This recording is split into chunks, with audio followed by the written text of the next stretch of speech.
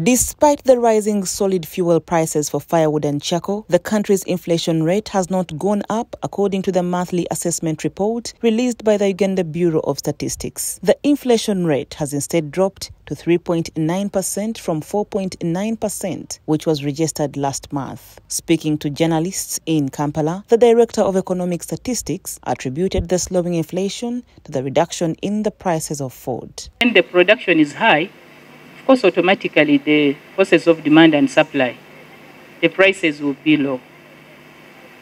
So that one, is, we are seeing that most of these items have started to come in. Members, a bunch of matoke. How much money were you buying a bunch of matoke in March?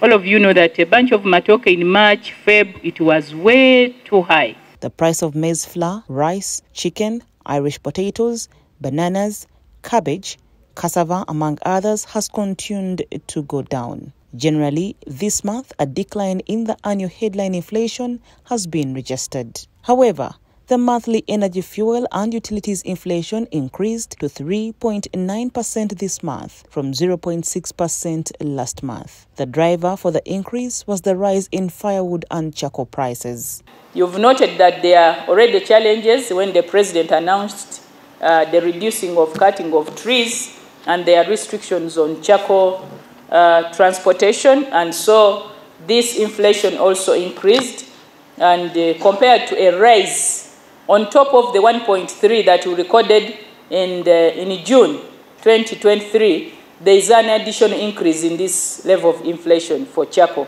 Charcoal prices are likely to rise further as the National Forestry Authority enforcement officers embark on the implementation of the Presidential Executive Order Number 3. Executive Order Number 3, issued by the President on 24th May this year, addressed pressing issues including damage on the environment by the charcoal business. Report compiled by Jaliat Namwaya for the news.